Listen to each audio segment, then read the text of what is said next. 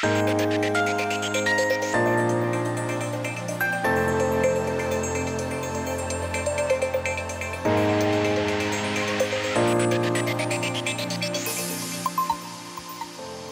يتوقع خبراء هيئة الأرصاد الجوية أن يكون طقس الغد شديد الحرارة رطبا نهارا على القاهرة الكبرى والوجه البحري وجنوب سيناء وجنوب البلاد مائلا للحرارة رطبا على السواحل الشمالية.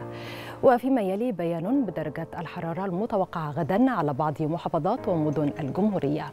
القاهرة 37 25 الإسكندرية 32 25 مطروح 21 25 بورسعيد 32 26 والإسماعيلية 37 24 ننتقل إلى محافظة السويس 37 25 العريش 33 25 طابة 36 27 شرم الشيخ 38 28 الغردقة 38 28 الأقصر 45 28 أسوان 45 29 الوادي الجديد 43 27 شلاتين 39 30 وحلايب 37 32 والآن نستعرض معكم درجات الحرارة المتوقعة في عدد من العواصم والمدن العربية والعالمية.